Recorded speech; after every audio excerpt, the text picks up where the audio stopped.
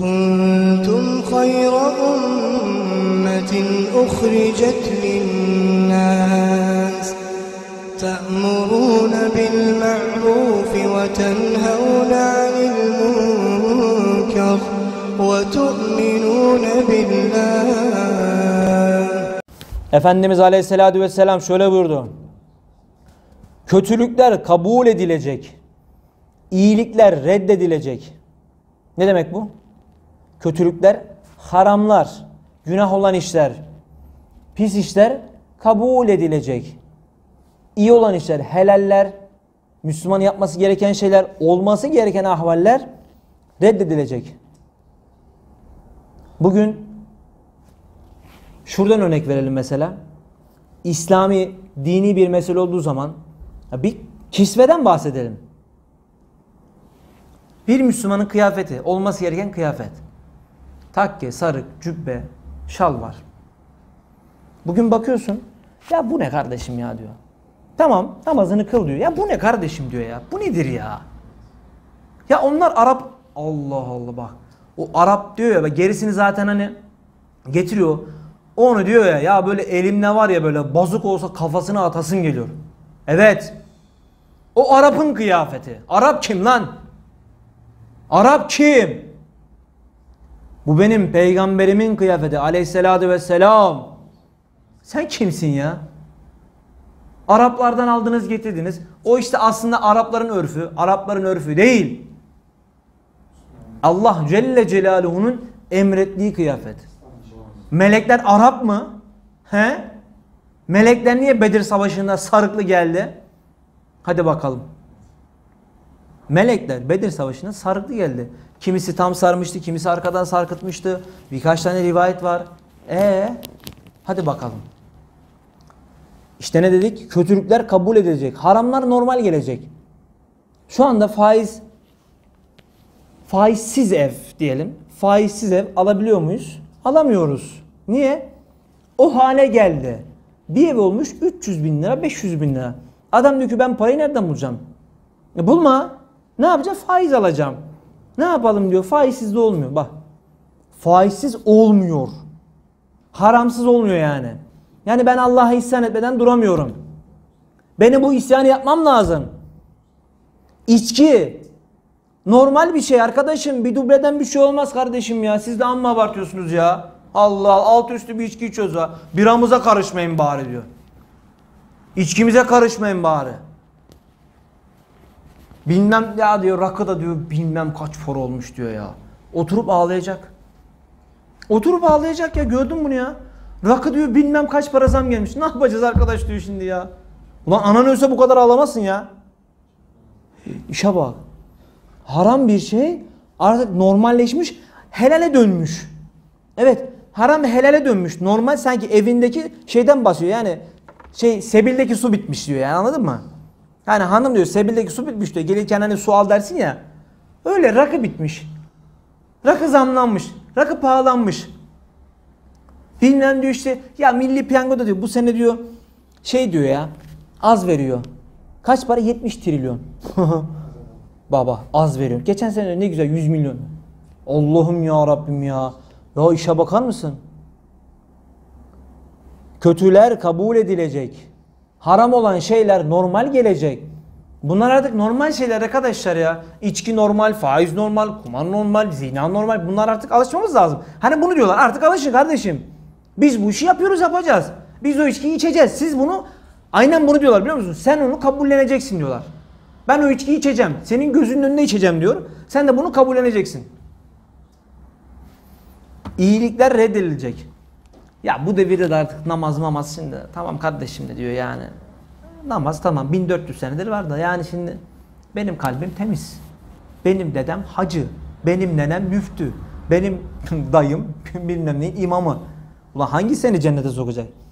Deden müftüyse cennete girer. Nenen her neyse cennete girer. İşte o işleri hakkıyla yaparsa. E sen ben onun torunuyum. Ya sen Allah Allah. Sen sadrazamın sol kolusun oğlum. Sen hayırdır? sen nesin ya? İşler böyle gerçekten böyle. Yani adamlar şunu diyor. Benim sülalemde cennetlik bir adam var. E O beni elimden tutacak cennete sokacak. Yok öyle bir şey arkadaşım. Öyle bir dünya yok. Yat aşağı. Amel yok, zikir yok, ibadet yok, namaz yok. Benim dedem müftü. Dedem müftü. İyi bari çerçeve duvara as yani. Ne, ne yapayım şimdi yani? İşte bu işler böyle. Haram olan şeyler hayatımızda o kadar çok normalleşti arkadaşlar. Evet. Bugün mesela toplum içindeyiz maalesef. Konuşulanları duyuyoruz maalesef. Yani bugün adam ne diyor biliyor musun? Şeriat istemiyorum ben diyor. Şeriat istemiyorum. Oo, şeriat istemiyorum. Yani Allah bana karışmasın ya. Ya Allah ben işime bakıyorum arkadaşım diyor. Allah bana karışmasın. Ne işi var diyor ya. 50 kere söyledim. 50. Senin tuvalete sol ayakla girip sağ ayakla çıkmana karışan Allah.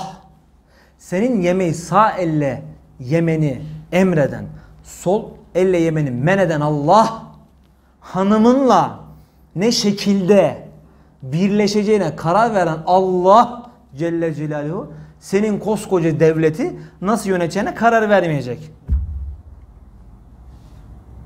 Bunlar diyor ki yani bizim işimize gelmiyor diyor. Bizim işimize bu geliyor arkadaşım ya. Şeriat gelmesin ya.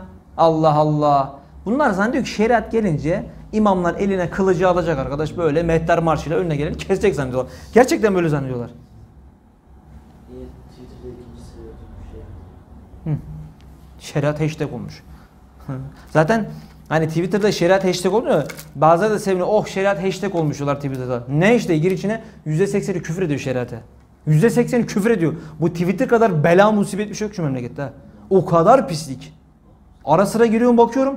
Arkadaş devleti yıkmışlar, devlet kurmuşlar. Birilerini işte şah etmişler, birilerini mat etmişler, bir şey olmuşlar. Aman Allah'ım. Yani Twitter'a giren yani avam birisi Twitter bilmeyen birisi Twitter'a girse der ki aha akşamına hükümet düşer. Misal diyorum yani. Aha akşamına der bu adamı öldürürler. Birilerini me- mesela birilerini çok mesela diyorlar ki ah şu adam şöyle. Resmini paylaşıyorlar, adresini paylaşıyorlar, telefonu paylaşıyorlar. Bu model. Bazen işe yaramıyor yarıyor. İnkar etmem. Ama kaldırılsın arkadaşım. Şunun kadar melanet bir şey yok Twitter kadar. Niye? Basit bir örnek verelim ya. Ha? Trump. Abi adam Amerika'da tweet atıyor. Dolar 8 lira oluyor. Lafa bak. Niye? Sebep ne? Trump tweet attı. Dolar 8 lira oldu. Tweet attı. Trump böyle yaptı. Dolar 8 oldu. Ekonomi battı. İşe bak. Bu, bu kadar kolay mı ya? Twitter. Allah kaldırsın. Amin. Evet. Ne dedi Efendimiz Aleyhisselatü Vesselam? Kötülükler kabul edilecek. iyilikler reddedilecek. Bu devirde başörtü mü olur arkadaşım ya? Biraz modernleşin arkadaşım. O babaannem takıyordu onu ya diyor. Aç başörtünü ya. Ne o bir tane var Cemal Cemal Cemal Süreyya mıydı? Neydi o bir tane teyze var. Neyse. Ne diyor? O ayet diyor baş ayeti değil diyor. Aynı hareketlerde bu yani. Sanki belgesel anlatıyor yani. Savanadaki kaplanları anlatıyor. O ayet diyor kalbi örteceksin. Baba. Başörtü ayeti neymiş? Kalbi örteceksinmiş. Ne yapacaksın? Kalbi örtüp pakete koyup buzdolabına mı koyacaksın? Ne yapacaksın yani? Görüyor musun mevzuları? Ya işten nereye gidiyor? Gerçekten bak gittikçe ilerliyorlar. Yakında korkuyorum yani. Korkuyorum helal hiçbir şey kalmayacak. Kaldırılacaklar toptan yani.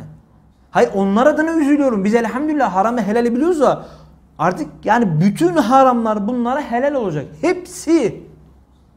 Bak buna Allah'ın adına yemin ederim artık zaten yüzde seksenini haramın normal kabul ediyorlar. Bu devirde olmazsa olmaz diyen adam zaten kafir olur. Bunun şakası var mı ya? Bu devirde faizsiz olur mu diyor adam. Bu devirde içkisiz olur mu diyor adam. Allah muhafaza. Allah muhafaza. Amin. Evet.